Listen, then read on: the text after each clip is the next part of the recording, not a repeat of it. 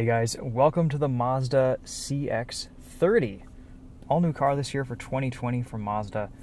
Very excited to drive this thing because it kind of hits a nice little sweet spot between the Mazda CX-3 and the CX-5. The CX-5 is a little bit large for your needs and the CX-3 is a little tight and cramped. This is your Goldilocks just right in the middle. And uh, that's kind of how I feel about this. It's very nice. It adapts some of Mazda's new design language into their interior. This infotainment is fantastic. You can control it with the scroll wheel, and uh, it's very easy to use, very intuitive.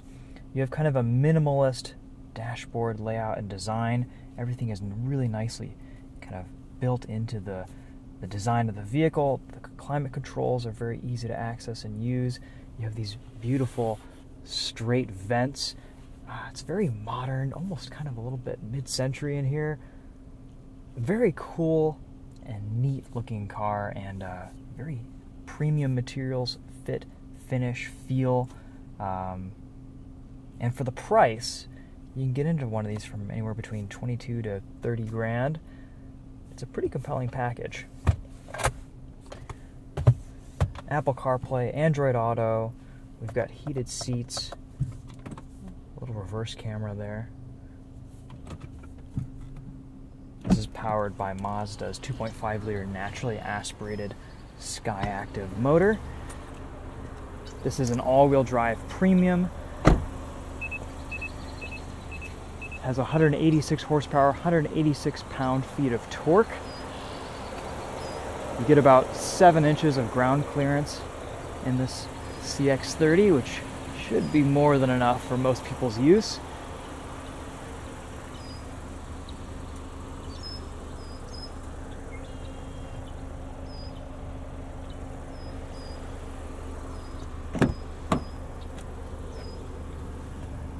Back seat is actually reasonably spacious. You even get a little bit of a bump up here above the passengers' heads for just a little bit of extra headroom.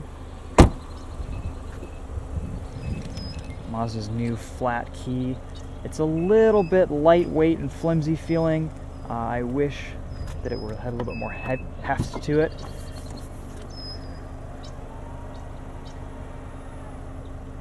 This premium model has the power lift gate, compact spare tire, Bose subwoofer back here too, which is a pretty, pretty hefty unit.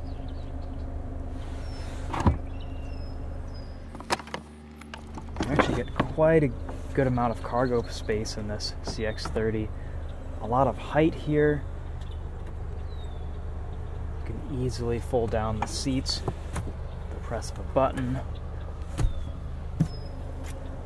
Those do fold flat, but my driver's seats aren't put forward enough.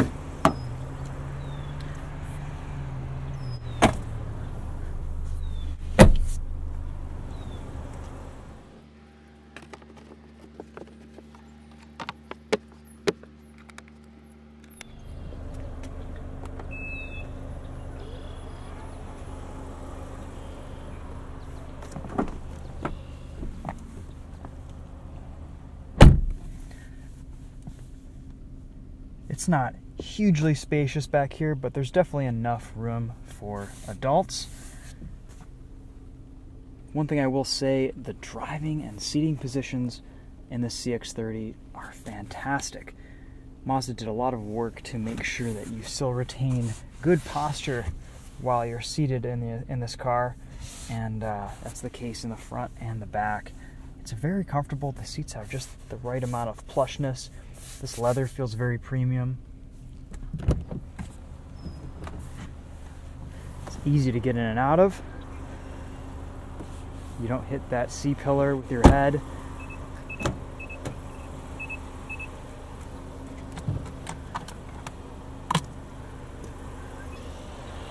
Great packaging in this CX30 overall.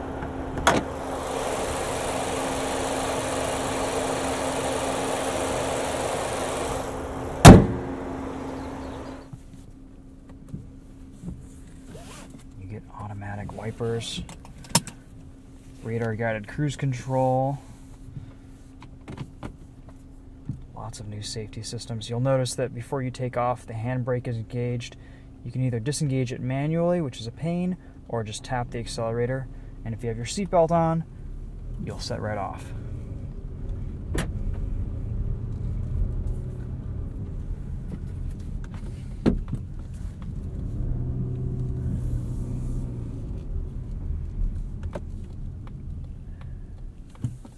Finally, it's nice to drive a smaller crossover without a CVT. This has Mazda's six-speed torque converter automatic.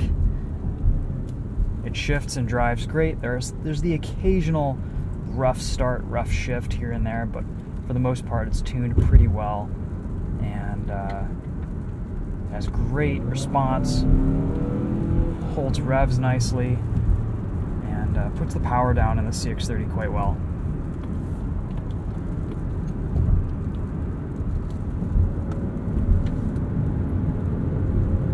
Ride quality in this is great. The suspension is really nicely damped for uh, good handling and over bumps. It's not punishing, it's very supple, very comfortable.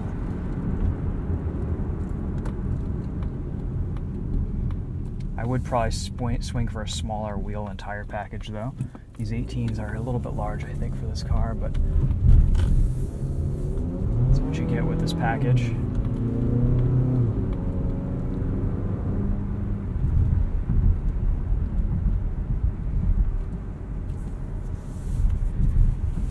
We also have the Bose audio system in the CX30, and it's fantastic. It's one of the best sound systems I've heard from Mazda. We'll do a sound test in a POV night drive later this week, so stay tuned for that. We'll go through our various array of soundtracks and go from there. So let's talk about handling. The CX30 has Mazda's G vectoring control, does a little bit to kind of keep you on the straight and narrow, reduce understeer. It works a little bit with the all-wheel drive system to kind of keep you pointed in the direction you want to go. One interesting thing I learned about this car this week is there's no traction control off button, but the traction control is tuned in a way that it's very unintrusive. And uh, Mazda's kind of made a decision to leave traction control buttons out of their crossovers but be able to turn traction control off in their cars and sports cars like the Miata. And you know that's that's just kind of a whether it's a a practicality decision, uh, you know, decision based on the target demographic of these cars, or just a legal situation with the higher roll center, higher center of gravity of crossovers. I will say that this works great. Driving in the wet, driving in the rain in reduced grip scenarios today, uh, Never once has the traction control kicked in in an aggressive or distracting manner. And uh, that kind of goes to show that the overall driving experience in this car uh, does not have a lot of distracting elements and characteristics to it. I feel very natural and relaxed driving in the CX30.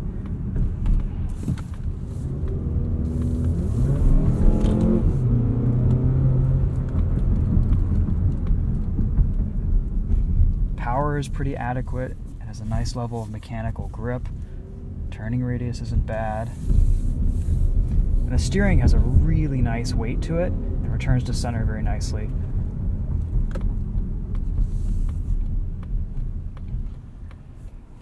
Originally, when I got in this CX30, I thought that these uh, the door height was really quite ridiculous. Um, you know, you, you can't really rest your arm up here just because it's so tall. But after living with this car for a few days and just kind of driving it, the seating position is very comfortable. You have armrests on both sides, they're nicely padded, and uh, the driving position is fantastic. And these, these seats are so comfortable that this isn't an issue. It's not an issue for visibility, and um, I don't really think it's an issue for comfort either. It did take a little bit of getting used to though when I first started driving it, but um, even though there is such a narrow window in this car, you do have pretty good visibility. There aren't a lot of blind spots in this.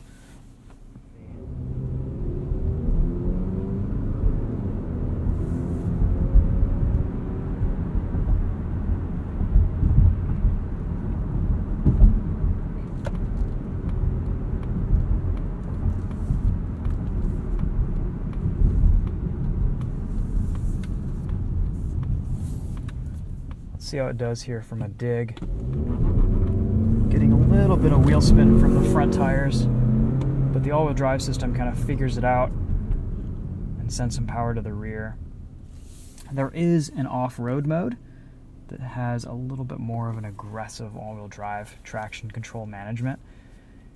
So if you have one wheel slipping, you'll be on kind of a, you know, you've got two wheels up in the air, you're in a little bit of a frame twister, then uh, it will aggressively brake the wheels without traction, so that it'll send traction to the other side and uh, give you grip where you need it.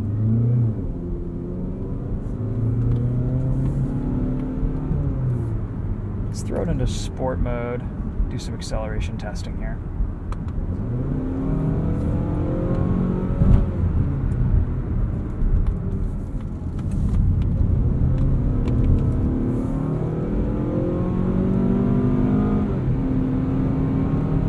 The stability control tuning in this is just phenomenal. Very unintrusive. Reminds me a little bit of the tuning in the new Nissan Sentra. It's kind of how you want it. You don't want any abrupt cuts in power. You want it to adjust to your driving and, and almost be unnoticeable.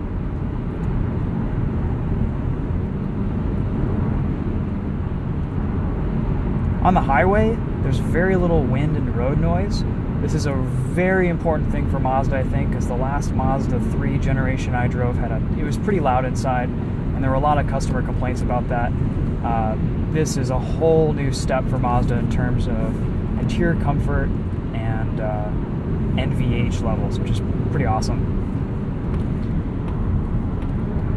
The ergonomics in this are really nice too. Uh, occasionally, I'll find myself accidentally pressing a button in instead of up or down. Uh, but once I've gotten used to kind of where I need to place my hands and how to use this system, that's not as much of an issue. Um, the cruise control can be a little bit sensitive sometimes when the car in front of you is turning right or merging over and slowing down. Uh, your car will kind of adapt to their speed. Uh, in an undesirable way, but for the most part on the highway, it works really, really well. You can skip five mile an hour increments in speed. It'll come to a stop quite smoothly. It'll resume speed pretty smoothly. And you can even go into the system settings. So you can just have standard, good old fashioned cruise control without a radar guided system. And it's actually holding us here at a complete stop, which is pretty cool. We'll see what happens once uh, traffic resumes. But I love all the customizability in this CX30. You can change all of your driving assistance settings, um, really custom tailor this to your preferences, and uh, that's nice. That's very BMW esque of Mazda, and I appreciate that.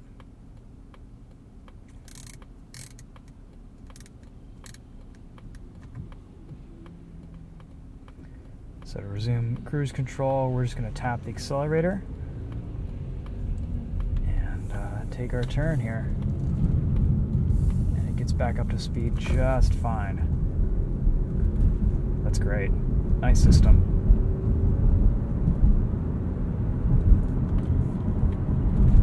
I haven't touched the gas yet.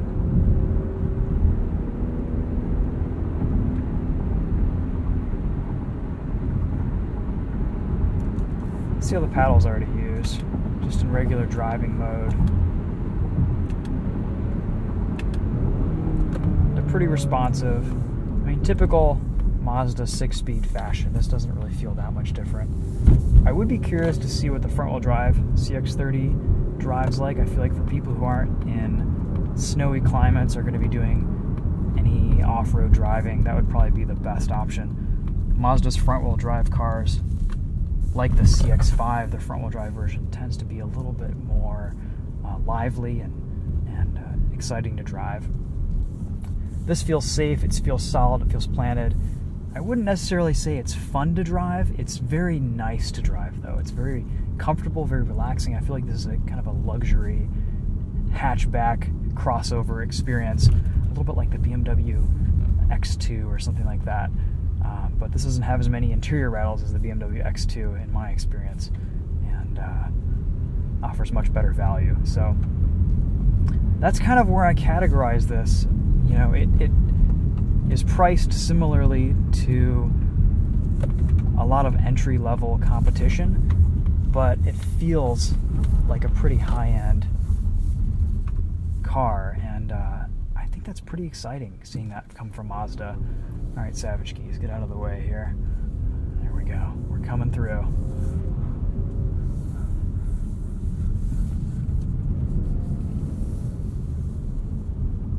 Yeah, this thing is great. I I would buy one of these, honestly. I think this CX30 is the right size. It has the right balance of driving involvement without the distraction from the infotainment and the ergonomics and the controls. And it's a very, very beautiful interior. I think this is one of my favorite interiors of 2020. This is just, I think it's gorgeous. There's a little brown um, touch to the top of the dashboard here. The leather feels really nice. The seats have kind of a little red hue on the inside of the holes. Um, this dashboard, the top is kind of tacky, so I'm curious to see how dusty that'll get over time and how it'll age. But um, otherwise, you don't have a lot of shiny black except for on the sides here. Uh, but if you're careful, that shouldn't get too bad. It does have some texturized carbon fiber like patterns in there. There's a nice place to put your phone right here that's grippy so it's not going to slide around. You have another USB port in here and a car cigarette lighter port. Little place to put sunglasses.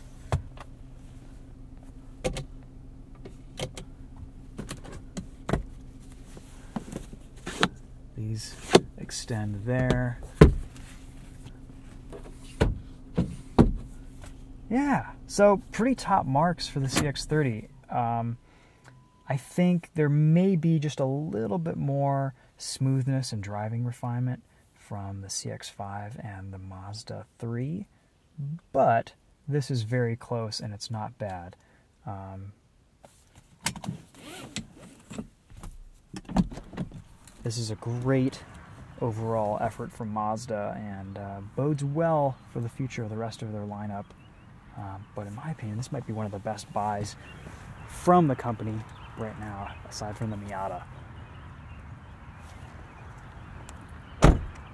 Not 100% sold on the looks. This plastic cladding has been a point of contention for some people. I would probably get this in a darker color because of that, either a black or the gray. Um, but I can see how it kind of adds to the off-road look and, and rugged appeal and probably saves a little bit of money on paint. But um, yeah, this is just a, it's a neat, neat little crossover. Gets good gas mileage.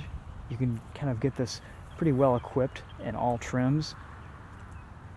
I think my favorite option is probably the Bose audio system, which leads us into a segue for our next video. So stay tuned for that. Let me know if you guys have any questions, and uh, thanks for watching. We'll see you in the next one. Take care.